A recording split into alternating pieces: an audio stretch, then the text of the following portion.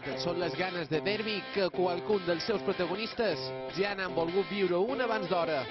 Gerard Osorio, Sebastià Givanel, Carlos Jiménez i Ángel Rodríguez han escalfat el partit del proper dissabte canviant el parquet per l'arena del Príncipes d'Espanya.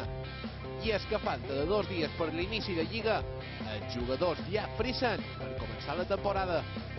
El inicio de pretemporada ha ido bastante bien, hemos jugado unos cuantos partidos amistosos, también jugamos un partido en Portugal, creo que las sensaciones están siendo buenas hasta ahora y esperemos seguir, esperemos seguir con, con esa sensación buena para, para afrontar de la mejor manera el partido, el partido del sábado.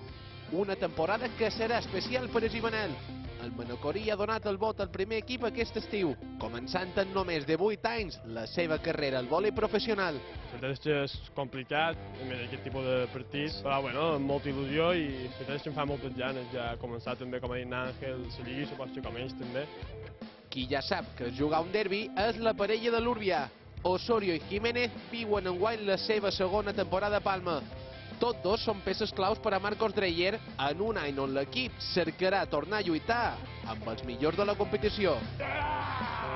Queremos eh, ya no solo igualar, sino nuestra intención es superar. Al final, cada año tenemos que ir a más y esa tiene que ser la actitud en, en este equipo.